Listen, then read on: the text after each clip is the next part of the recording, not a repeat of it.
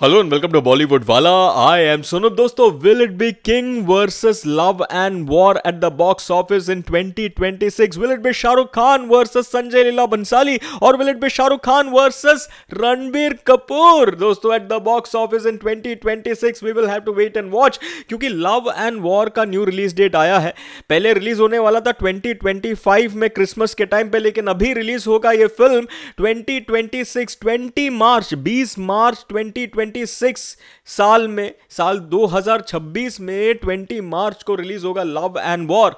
And now if buzz is to be believed ऐसा buzz है कि शाहरुख खान का जो फ़िल्म है किंग वो भी रिलीज़ होगा दोस्तों you know on the same date so we will have to wait and watch if there will be a clash between these two titans और not clash between these two big film और not and if the clash happens I think पहले uh, 2007 में वो clash हुआ था शाहरुख खान और बंसाली का. उसके बाद आई थिंक 2015 में वो क्लैश हुआ था शाहरुख खान एंड बंसाली का. And then the third time? Will it be 2026 when Shah Rukh Khan and Bansali will clash at the box office or not?